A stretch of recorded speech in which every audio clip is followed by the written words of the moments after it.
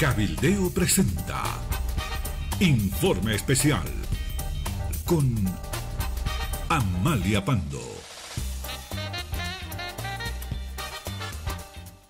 Muchas gracias eh, por su tiempo y en esta oportunidad uh, hablaremos de un tema esencial, la eh, explotación de hidrocarburos, la distribución eh, de tierras a campesinos y los intereses eh, colectivos eh, de los pueblos indígenas y los intereses de la nación a través de los parques nacionales. Mire, el asunto empieza con una cifra.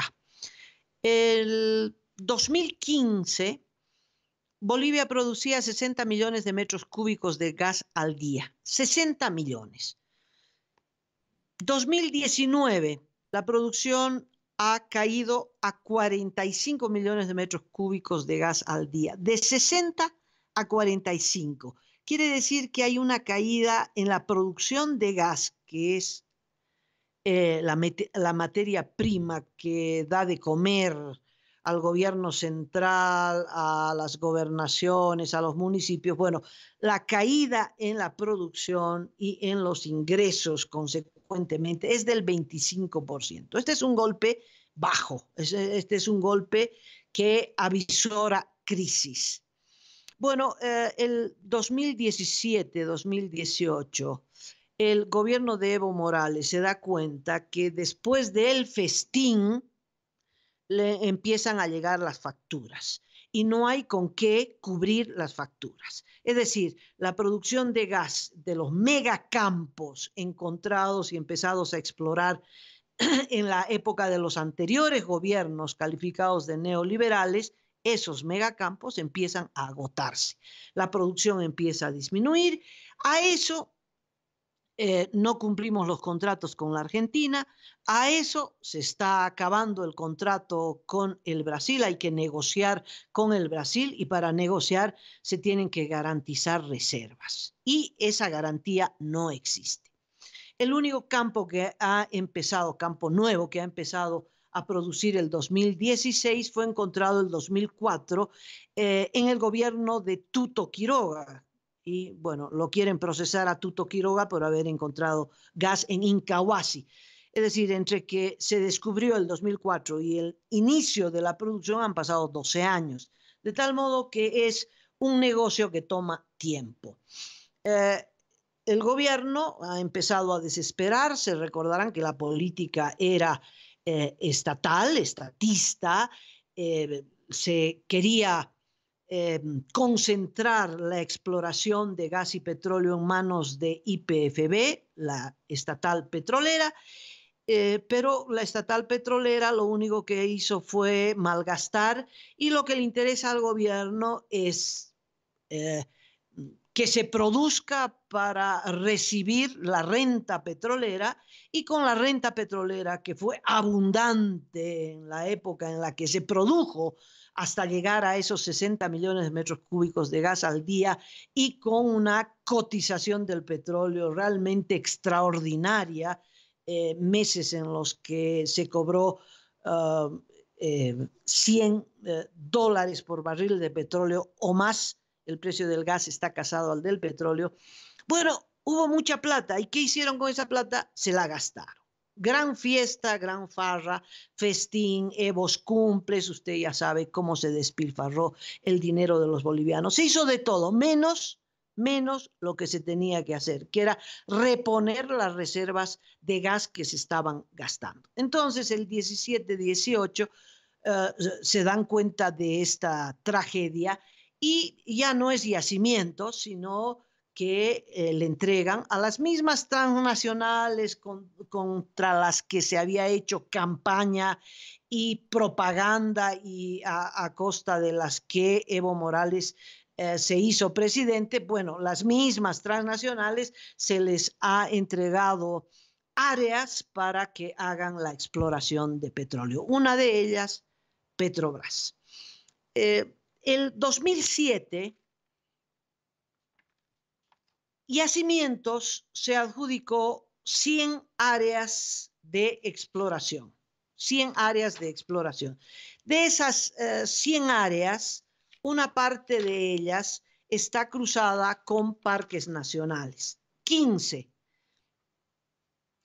Eh, de tal modo que hay el 85% de esas 100 áreas no están en parques nacionales.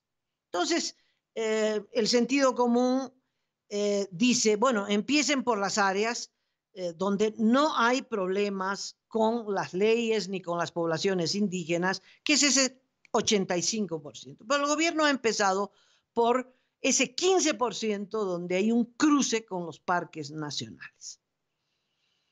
Eh, ¿Qué es lo que está pasando? Vámonos al sur del país, eh, el Parque Nacional Tariquía. Bueno, eh, se trata de un campo, Santelmo Norte, que se ha entregado a la estatal petrolera brasileña Petrobras. Resulta que el 18, a principios del 18, eh, Yacimientos firma un convenio con Petrobras para que Petrobras eh, empiece a buscar gas y petróleo en eh, Tariquía, que es un parque nacional, en este campo que se llama Santelmo Norte y en otro campo que se llama Astilleros. Más entusiasmo en Astilleros que en Santelmo Norte.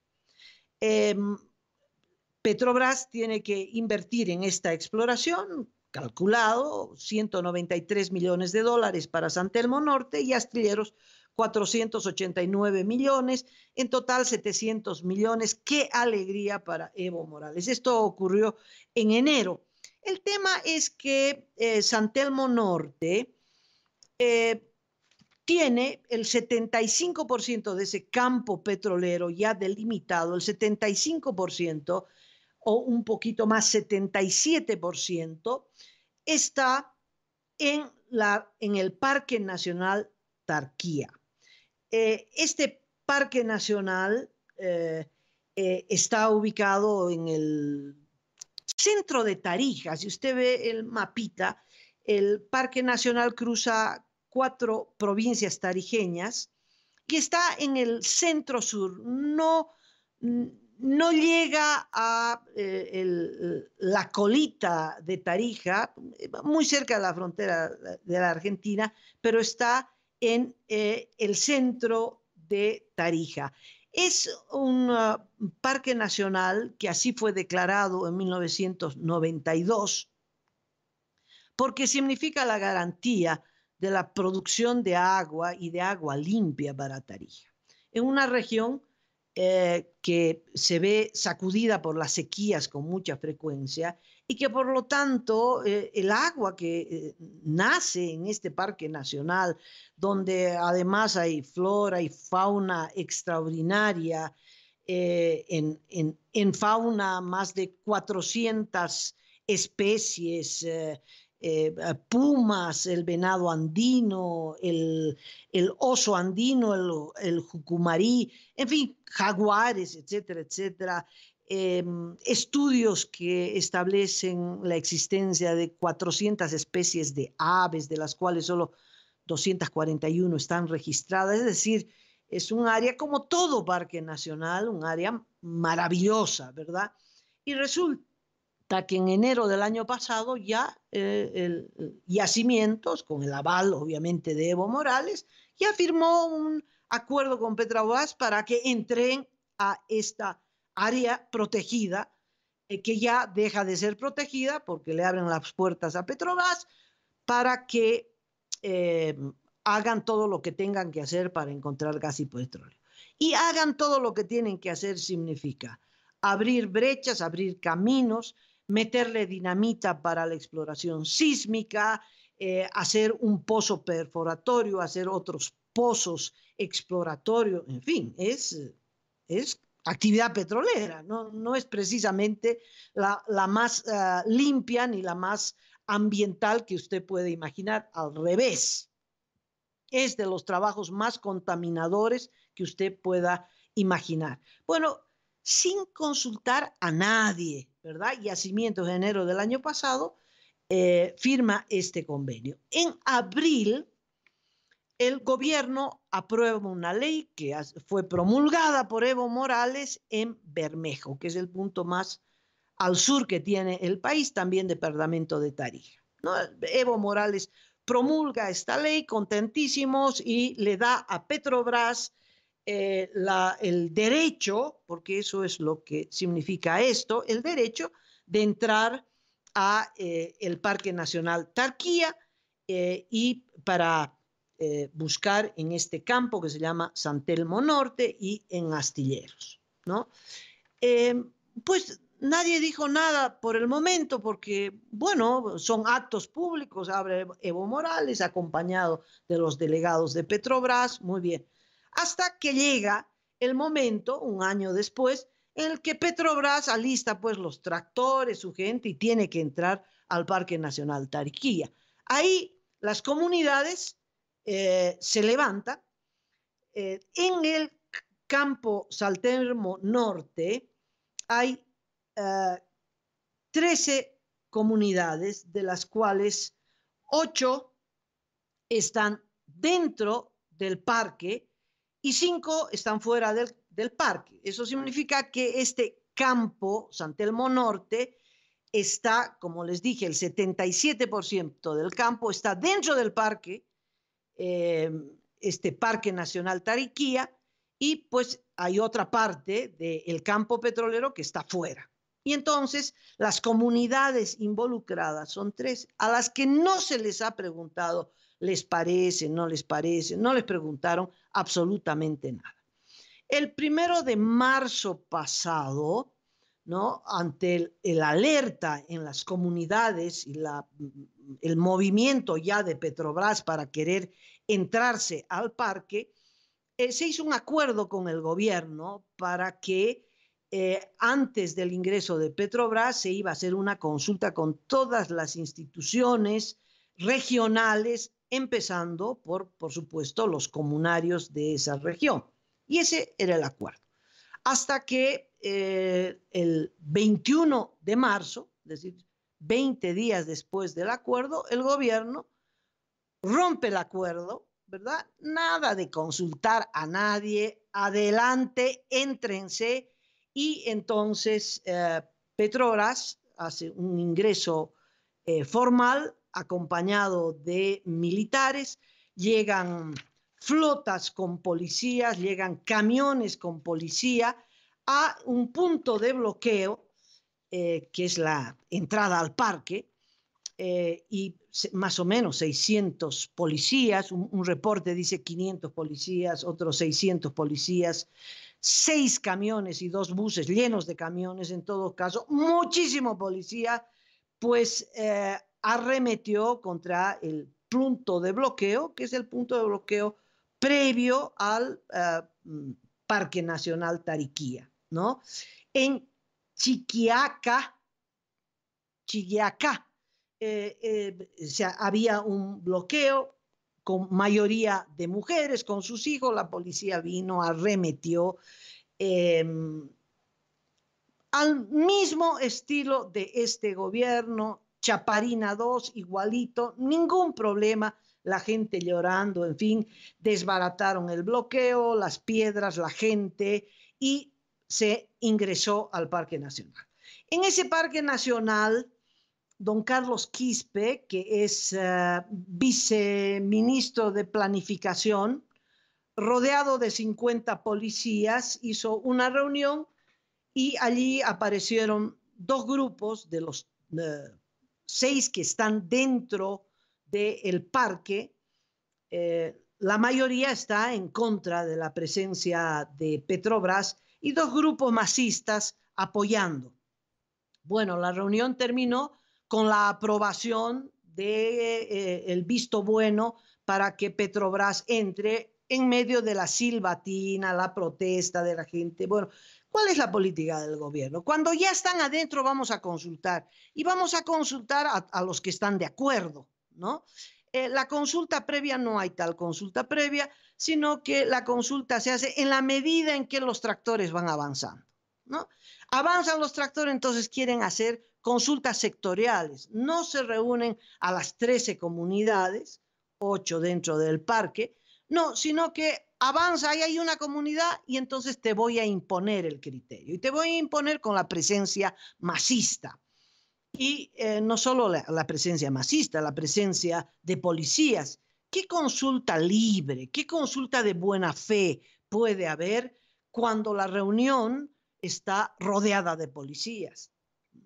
La consulta previa es un derecho ya no nacional, es un derecho internacional obtenido en décadas, en décadas o tal vez eh, eh, siglos de lucha indígena para hacer respetar sus derechos, para que precisamente las empresas transnacionales, las mineras, las petroleras y los propios gobiernos no se entren a sus territorios, no los avasallen, no los exterminen, se eh, estableció que para este tipo de actividades los pueblos indígenas tienen que ser consultados. Y eso significa que antes de que se firme un contrato, el gobierno tiene que consultar a los pueblos indígenas. ¿Cuál es la idea? La idea es que los pueblos estén primero bien informados, que lo puedan discutir, que eh, la decisión sea utilizando eh, sus propias tradiciones, normalmente en asambleas, cabildos, y que esta decisión sea consensuada. Es decir, no hay mayorías ni minorías, sino que eh, los pueblos que podrían ser afectados por esta actividad económica eh, tengan que resolverla, tengan que dar su ah, ah, aceptación a través de un consenso, es decir, un convencimiento de que esa actividad tiene estos pros, estos contras, que ellos van a ser afectados, van a ser compensados, etcétera, etcétera, etcétera. El, propósito de esto es precisamente la no violencia. Porque, bueno, hay la otra posibilidad, que se entren las, petroleras a palo. Y esa es la opción que, que, por la que ha optado Evo Morales. ¿Qué consulta ni consulta? Entro porque me da la gana, porque así lo decidí yo, ¿no? Eh, yo, Evo Morales, decido que eh, se haga camino en el team, ni si entran nomás, a palos entra. Em, eh, Petrobras va a entrar a Tariquía y entonces entra nomás a palos y a palos entran, ¿no? Esa es la, opción democrática, es la consulta previa. Eh, ¿Para Primero, para que no haya violencia. Segundo, para que los pueblos discutan eh, qué les conviene, qué no les conviene, en fin, para que tengan la posibilidad también de negociar con el Estado compensaciones, etcétera, etcétera, etcétera. Es un derecho que está consagrado en las normas internacionales y consagrado en nuestra Constitución. Por supuesto, es el artículo de la Constitución que más veces ha violado Evo Morales. Evo Morales, el, el primer presidente indígena, no sirvió de nada. Es decir, en las épocas del neoliberalismo se respetó muchísimo más a los pueblos indígenas, se crearon los parques nacionales, se crearon los territorios indígenas, eh, las marchas fueron escuchadas, etcétera, etcétera. Evo Morales arrasó con todo el, territorio político eh, por el que habían ah, caminado y avanzado los pueblos indígenas. Y este es otro ejemplo. Uh, primero fue el Timnis, Después les voy a mencionar otros, eh, otros ejemplos, pero lo de, Tariquía yo creo que es eh, lo más ejemplificador de la política del gobierno. Entonces, eh, han entrado a, esta, a este parque nacional a la mala, ejerciendo violencia y están imponiendo sobre texto de hacer consulta previa, que en realidad no es previa, pero imponiendo la presencia de Petrobras a través de la presión, porque son reuniones a las que va eh, un representante del gobierno, en este caso un viceministro, el presidente de Yacimientos, el presidente de Petrobras, y arman grupos de choque de El MAS para eh, eh, aplaudir. Eh, algunos de buena fe creerán que porque entra una petrolera va a entrar el desarrollo, lo que entrará es la contaminación, el desastre de la madre naturaleza, y pensarán que van a conseguir empleo, como se sabe, la actividad eh, de exploración petrolera es una actividad absolutamente especializada que no contrata pues eh, eh, gente, sino que son personal especializado, ingenieros, en fin, los que realizan el trabajo. Y tal vez seguramente tienen la ilusión de, convertirse en peones para abrir los caminos, las brechas. Es posible. Eh, como se podrá ver, es un trabajo absolutamente eh, provisional, temporal y mal pagado, ¿no? Pero eh, esa es la ilusión con la que llega el gobierno estamos trayendo el desarrollo, estamos trayendo, eh, estamos, vamos a acabar con la pobreza, con la miseria. Y algunos se comen el cuento, pero otros no se comen el cuento, simplemente son agentes masistas a los que se les paga para aprobar, para levantar la mano, en fin. Pero el grueso, el, el grueso de las comunidades afectadas en el campo San Telmo Norte han decidido que no van a eh, eh, no solo no van a aprobar la presencia de Petrobras, pero se van a oponer. Y entonces el 21 los corrieron con la presencia policial y el 22 estaban nuevamente bloqueando en ese mismo punto, que es el ingreso al parque, eh, y la movilización continúa. Continúa con tal intensidad que el Comité Cívico de Tarija ha decidido hacer eh, un eh, paro cívico de 24 horas el próximo 27. Eh, de tal modo que ha empezado no solo una protesta indígena, pero sino una protesta regional. Claro que las regiones, claro que el país necesita gas, necesita petróleo, necesita explotar los minerales, claro que necesitamos, necesitamos para sobrevivir, pero eh, necesitamos eh, especialmente eh, también defender nuestros parques nacionales y nuestros pueblos indígenas. Y sobre todo necesitamos defender la Constitución. Está muy bien, hay la posibilidad de encontrar gas y petróleo. Muchos dirán, esto es prioritario, esto es indispensable, tenemos que hacerlo. Bueno, pero antes no podemos hacer este trabajo avasallando, atropellando, golpeando, lanzando gases lacrimógenos. No, tenemos que hacer una consulta previa. Necesitamos cumplir la constitución. Necesitamos, si el proyecto es tan bueno, no hay duda que vamos a convencer a las comunidades posiblemente afectadas. Y si son afectadas, ¿cómo las vamos a compensar? Etcétera, etcétera, etcétera hay una norma, la no violencia, hay una norma, tengo que consultarte. Así haya petróleo en tu living, y cimientos no puede entrarse pues con eh, tractores, demoler tu casa y cuando ya eh, no queda pared ni eh, ladrillo sobre ladrillo, decir, ah, bueno, ahora te voy a consultar. No, pues, antes de que derrumbes la muralla de mi casa, antes te preguntaré si estás de acuerdo, porque tú eres el dueño de la casa. Y los parques nacionales tienen un dueño y los territorios indígenas tienen un dueño. Y hay una ley, hay una norma, hay leyes, hay una constitución a la que eh, el gobierno tiene eh, que acatar y tiene que someterse. Es obvio que Evo Morales no se somete a nada, por eso eh, eh, cree que está habilitado como candidato para las próximas elecciones y cree que puede hacerse reelegir indefinidamente. Eso no dice la Constitución y por lo tanto es inconstitucional. Como es inconstitucional haber firmado acuerdos con Petrobras para que pueda eh, entrar a hacer trabajo de exploración petrolera en parques nacionales. Eso está prohibido está prohibido por ley, entonces no puede haber un contrato que pisotee una ley. ni puede haber un presidente que pisotee la ley. Solo un dictador puede pisotear la ley. Y eso es lo que está ocurriendo. Eh, habrá resistencia.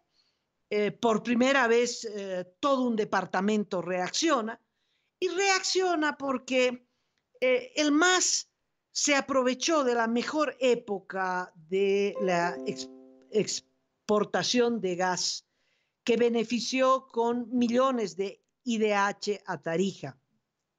Tarija es el proveedor del 68% del gas que Bolivia exporta. ¿Y qué le ha dejado a Tarija? Bueno, el gobernador que nunca fue electo, ¿verdad? Simplemente fue un, golpe al que pusieron un gobernador masista, se tiró la plata, ¿no? Si Evo Morales uh, malversó, uh, la administración masista de la gobernación de Tarija fue la peor.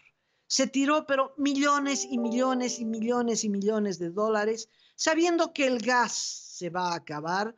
Eh, tenían la obligación de hacer una economía alternativa que le dé eh, perspectivas al departamento y trabajo a su gente, pues no hicieron nada de eso. Se tiraron la plata, eh, habrán décadas de procesos de investigación para descubrir las coimas, para descubrir la malversación, en fin, el enriquecimiento ilícito, la transferencia de recursos públicos a bolsillos privados, etcétera, etcétera, etcétera.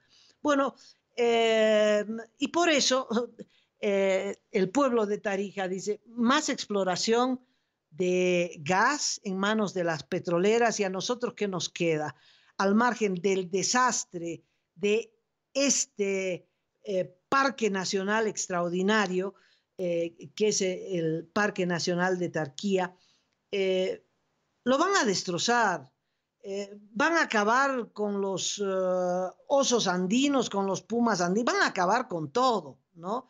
Porque está claro que ni bien entren las petroleras, detrás de las petroleras entrarán ah, campesinos a desforestar, entrarán eh, los, ah, mm, eh, eh, la tala indiscriminada de árboles, en fin, parece que empieza pues el, el, desastre ambiental que significa abrir las puertas para esta explotación de gas. Bueno, de manera paralela es importante decir que ah, han habido luchas eh, parecidas y que eh, tiene que ver con la visión del gobierno. Uno, abrir los parques nacionales a la explotación petrolera, que es eh, el ejemplo del Timnis primero y este ejemplo de Tarija segundo.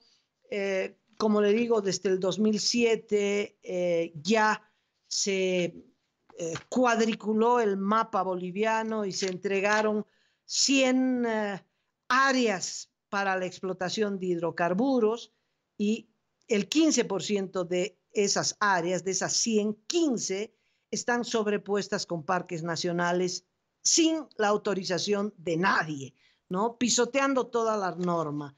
Eh, la cuestión es eh, explotar, explotar, explotar para que el gobierno tenga muchos recursos a disposición y con esos recursos se siga dilapidando y se siga ganando elecciones. Esa es la idea. Pero también hay otra, ¿verdad? Que es la de ocupar las tierras comunarias.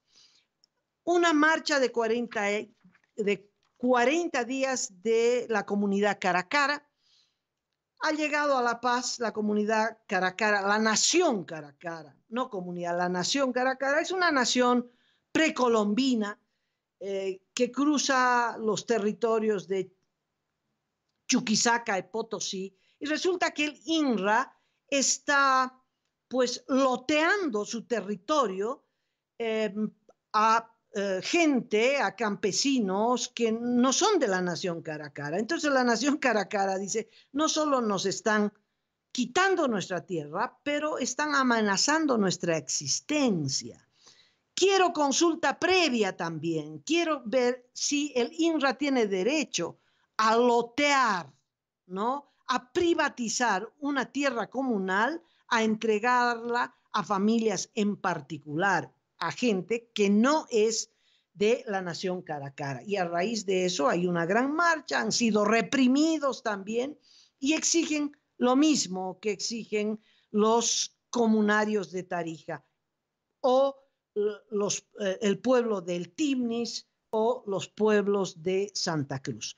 Pues en Santa Cruz hubo una gran batalla en Roboré porque resulta que em, hay una reserva municipal, el Pagio, y eh, otra unidad del Valle de Tucabacá, que resulta que el INRA, que es el instrumento de la privatización, es el instrumento para acabar con las tierras eh, comunitarias de origen, es el instrumento para perpetrar la destrucción de los parques nacionales, había eh, loteado, ¿no? había privatizado esta reserva municipal en Roboré, y Roboré se levantó, el pueblo entero se, se levantó eh, porque la decisión del INRA era absolutamente ilegal. No había sido consultada con nadie, eh, ni el alcalde de Roboré se había enterado, y lo único que se sabe es que apareció eh, gente que empezó el desmonte a acabar con la riqueza forestal en un área que era eh, un área protegida municipal. Bueno, por suerte, en diciembre del año pasado, eh, el, INRA tuvo fruto de esa presión y ese levantamiento popular, tuvo que anular el permiso a la comunidad Tupac Amaru. Nunca se vio ahí ni un rostro, ¿no? ¿Qué es lo que hacen? Están privatizando a gente del MAS, muy vinculados a eh, el clan Cocarico, eh, que se están adueñando de tierras en todo lado. No es gente que no tiene tierra, no son campesinos pobres, gente miserable que no tiene que comer y a la que le dan 100 eh, hectáreas o una hectárea o media hectárea. No, eh, es, simplemente el acaparamiento de tierra pretexto de organizaciones sociales que luego van a ser revendidas. No son ni tierras para producir ni papa, ni maíz, ni quinoa, simplemente son tierras distribuidas a la cúpula masista con el objetivo de acaparar tierras y luego ser revendidas. Es un proyecto eh, de los peores. Si eh, el neoliberalismo fue tan criticado, pues uno tiene que reconocer que el neoliberalismo fue el que creó los parques nacionales, en el neoliberalismo se crearon, pero se entregaron millones de hectáreas a las comunidades indígenas. Eh, y es este gobierno, ¿verdad? El que ya no es neoliberal, pero es un neo, neo melgarejismo que viene de Mariano Melgarejo, porque Melgarejo en 1860 y tantos pues fue el que subastó las tierras comunitarias y por supuesto las subastó a familiares, primos, amigos, etcétera, etcétera, etcétera. Y eso es lo que hay en la política del gobierno, la subasta, igual que Melgarejo, de las tierras comunitarias y por otra parte el avasallamiento de los parques nacionales. Muchas gracias por su atención, les mando un saludo, otro informe especial mañana aquí en Cabildeo. Cabildeo presentó Informe Especial con Amalia Pando.